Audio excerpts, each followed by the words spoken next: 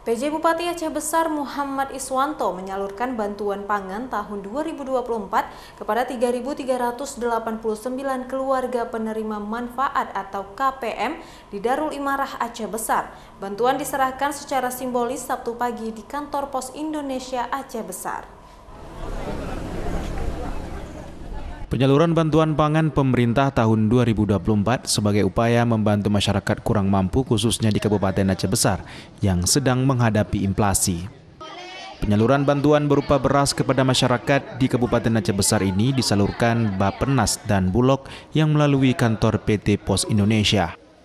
Ini merupakan program pemerintah pusat yang menyentuh langsung dengan masyarakat seperti penyaluran beras, pasar murah, penyaluran bantuan ikan segar, dan penyaluran LPG tepat sasaran untuk menekan angka inflasi.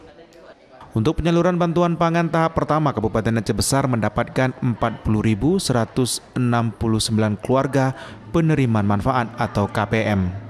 Bantuan pangan ini diberikan sebagai upaya pemerintah dalam membantu masyarakat dan meringankan beban ekonomi mereka. Alhamdulillah, Kecamatan Darul Imarah, Kabupaten Aceh Besar, hari ini masyarakat dan rakyat kita Aceh Besar, khususnya Kecamatan Darul Imarah, kembali mendapat penyaluran bantuan pangan, beras untuk 300 saya ulangi untuk 3.380 KPM.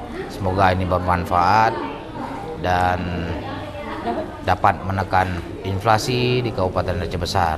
Pak Presiden, terima kasih Bapak telah memberikan kami bantuan pangan yang sangat berharga ini. Walaupun sedikit tapi sama kami sangat berarti. Karena kami masyarakat bawah ini sangat membutuhkan yang makanan pangan. Kalau bisa lebih baik lagi Pak, kalau bisa lebih banyak lagi dikasihnya. Warga berharap bantuan seperti ini akan terus berlanjut sehingga dapat meringankan beban ekonomi masyarakat kecil khususnya di Kabupaten Aceh Besar. Dari Kabupaten Aceh Besar, tim liputan iNews melaporkan.